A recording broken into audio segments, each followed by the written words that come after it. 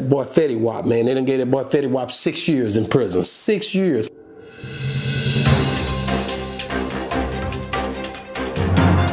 news you can use news you can use um, make sure you guys like subscribe to the channel make sure you guys tap in man check out what we got going over here at boss talk 101 make sure you guys uh, become members of our youtube channel um, just quickly want to talk about that boy Fetty Wap, man. They done gave that boy Fetty Wap six years in prison. Six years. Fetty Wap, man, he ain't doing that in a minute, but they're using old old videos, all kind of stuff to sentence him.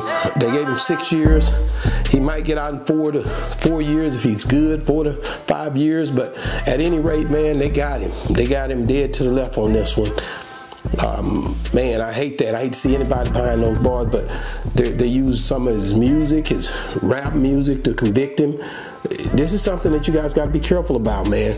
Uh, man, that, that, trap queen, that whole situation, they brought all that back up in court as well, saying that he was glamorizing drugs, all kind of stuff. So you got to be careful, man, when it comes down to what they'll say and what they'll do to get you convicted.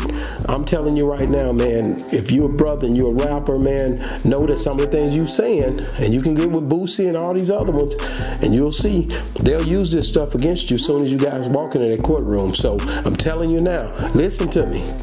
They use stuff against you, man. Uh, when you say this stuff and it goes out on this these internet waves, know that it can it can and will be used against you. This is public information now that you put it out in this way. I'm telling you now, man. Fetty Wap having to sit down, man. Uh, yeah, I, I remember he was going with that girl. Uh, Alexis, Alexa, but I'm telling you now, man, that's over. He gonna have to figure out something else now because they're, they've sentenced him. He's got the time now to think about it, sit down and think about it. Uh, man, there's a bunch of bunch of rappers that they done locked up too. If you ain't dead, they locking you up. They doing they doing rappers dirty as they can to try to make them stay. Um, under their control. They know that the economy and entrepreneurship is something they they they they know that these these artists can be a force to be reckoned with if they ever unify, if they ever understand the power of unity. Um, the ones, the big boys don't even try to bring them together because they trying to hold their bag together. All I'm telling you is, man, listen to me and hear me good, man. Fetty Wap, Fetty Wap got he got himself in a situation now, man. Um, Willie Jr. That's his name. I'm telling you now. Um, it, the prosecutors was ready to get him. They, they definitely was happy to get him. It was a big fish to them. I guarantee it. They brought everything they could up against this man to make sure that he understood that they were in total control of this whole situation, man. He got in trouble. It was in New York where he was sentenced at. So when you start to look at it, it says on Wednesday he appeared before the judge, Joanne Seybert, at the federal court in uh, Central Islip, New York to receive a sentence one year longer than the minimum. Uh, Mr. Maxwell waived to about 20 family members and friends who, attempt, who, attended the sentencing, and he entered the courtroom wearing a, a beige jumpsuit. His dreadlocks pulled back from his face. And his lawyer was Elizabeth. He had a woman lawyer, Macedon- Macedonio. She argued, argued that Mr. Maxwell had been supporting many relatives and children. They don't care nothing about that at this point.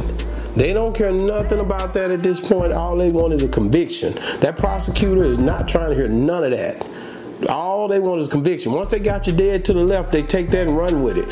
So all that trying to tell him, you know, uh, we'll do better this next time and all that, they don't want to hear none of that. Christopher Caffarone, the prosecutor, uh, Wednesday asked the judge to remember the, the, the collateral consequences of drug abuse and pointed out that many people suffered during the pandemic, but they didn't turn to peddling poison. Judge Seybert called the case one of the most difficult she has had to decide in 30 years on the bench. You believe that? You think she really had time? You think she really was tripping about it?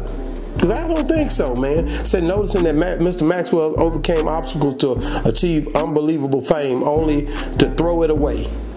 Man, they glad they got this boy, man.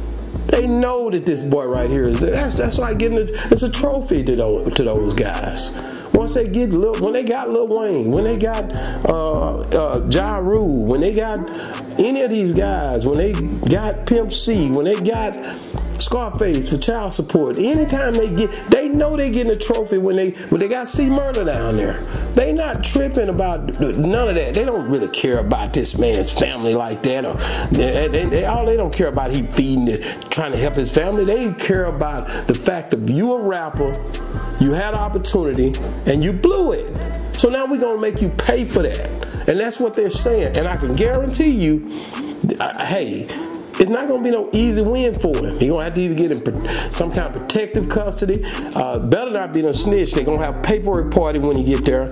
Uh, yeah, yeah, but his crime, they said, was serious, and his actions while on bail raised serious questions, she said. You know, the thing you cannot escape is that there were other choices, she said uh, in March, one of Mr. Maxwell's co-defendants, Anthony Seath, a former New Jersey correction officer, was sentenced to six years for acting as a, a courier of cocaine. Maxwell remaining four co-defendants pleaded guilty and are awaiting sentences. So, the like somebody might have flipped on him. Somebody might have turned up and flipped on him. We don't know. Something happened here.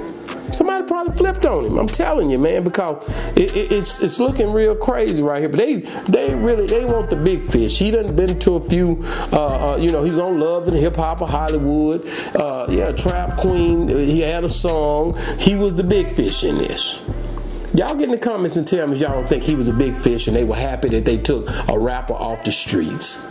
Just as they did AR Any, any, any of these ones they can lock up if you get caught with any situation, a gun, anything, they locking you up, and they're happy when you're when you're a big fish. If you're if they catch you wrong and you know you don't supposed to be out here right, uh, even when uh, Remy Ma, even the females, anytime they catch you wrong they gonna try to make an example out of you as a rapper or artist. That they they know you had an opportunity. They they know that they they know that it's a chance that you could have helped somebody, help more of your people. So they're gonna they're gonna use that against you.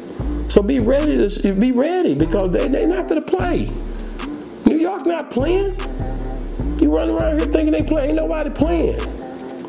So the prosecutors right now celebrating. This is a win. They got a conviction out of this. That's what you need to understand. That's the main thing. They got a conviction out of this. They happy about it. I'm telling you right now, if you think they're not happy, go down to your local, uh, wherever the pizza place is by the DA office in, in, in New York. Go over there. If you can find where that DA at, you're going to see they're having a good time. And the judge, DA, and the, the lawyers that prosecute them probably all eating together. So when you think they with you, uh, uh, uh Fetty Wap, they not. So it's a game they playing. You a brother. They know that. I guarantee you in that courtroom you wasn't comfortable. Dreads, one of your eyes missing, you had an accident, you were successful, you had opportunity, and they feel like they won today. So, man, hey, man, I'm, I'm, I keep you in my prayers. I'm gonna try to reach out to you like I always do. All the guys who get locked up, I'm gonna try to find out how I can send some money, put it on your book. Shout out to Crip Mac. Um, I shouted out, I, I, I, actually rocked out with him when he was locked up, and a couple more people I can name, but I'm not going to do that. But I'm telling you, man, they happy when they lock these people up who had an opportunity to do something to help all mankind, all of our culture. So listen, man. Hey, man, let me get let me get out of it, man. News you can use, man. It's been another great segment, man. Hey, man. I think that's about it, man.